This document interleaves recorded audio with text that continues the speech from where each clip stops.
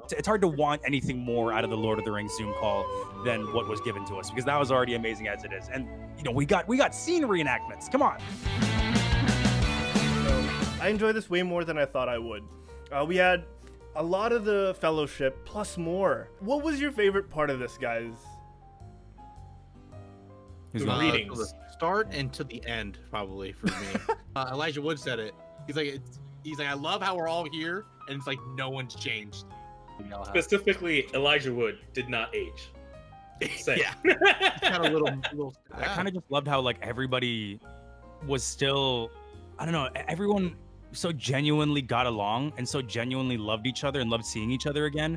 And they were also just so comfortable cracking jokes and kind of roasting each other at certain times. Ian Yeah. McKellen, you know, just, just loved throwing it their way. uh, 30 years ago that we were going to have regular uh, reunions. Have you been having these reunions without me? And Dominic Monaghan was just absolutely amazing as well. Never turn the Zoom off in bed, Orlando. Never turn the Zoom off in bed. um, I, I just it's just great to see you know these movies that you watched growing up about fellowships and, and groups and friends and knowing that they're actually friends in real life as well and seeing that happen in, right in front of you after so many years it's just like it was such an amazing experience and dude jonathan john rhys-davies who played gimli like Yeah. adjusting the camera before he Oh my God, yeah, his Orlando. line with, Oh, with orlando love that. bloom that was just like and like he had the helmet and everything and it's like these are these are boomers like who are like just rejoicing and having so much fun in Yeah. you know in, in such a great time in their lives and they made something so iconic and and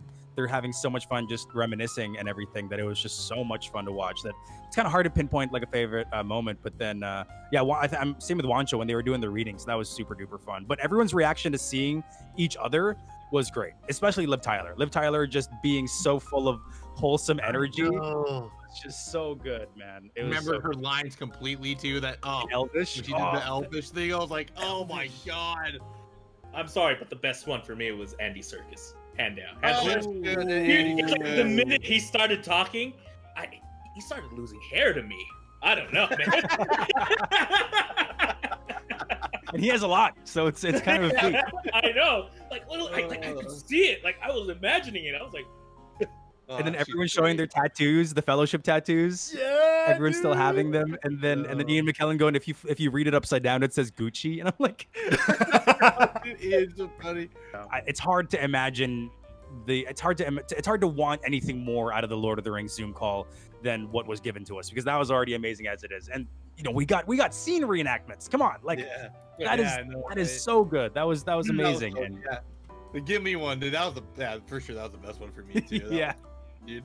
Oh, even though, even though the one with Ian, man, when Ian speaks, it's just like I just would just want to listen and just I could like watch him talk forever, dude. Yeah, and, and, Sean, of and Sean learning. Astin, Sean Astin doing the uh, the, the the speech about like, you know, the the uh, uh, these are the stories that'll that'll that'll uh, that'll shine on and stuff like that. Was, Oh, and everyone was quiet throughout the whole thing, and it was just, oh gosh, You know, you were saying how it's easy to nitpick this, and yes, Josh Gad had the perfect opportunity to get like a little more behind, uh, behind the scenes stuff, you know, inside baseball, but at the same time, fitting in readings, fitting in uh, a skit at the start, you know, Yeah. it, it was amazing that they pulled it off so smoothly.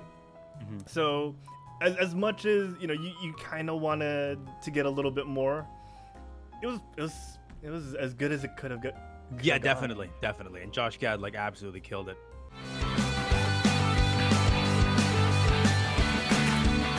It sucked that Sean Bean, Sean Bean's connection was kind of was kind of booty, like he was kind of popping up in and out. That they I had to kind of impose his Yeah. his scene. you could say over his connection reading. was dying.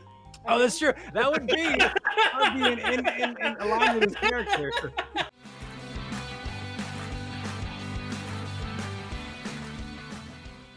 There, Bernard Hill was showed up at the But- end as well. My This king, was right adorable. there. This was so adorable. Oh man. It's Totus!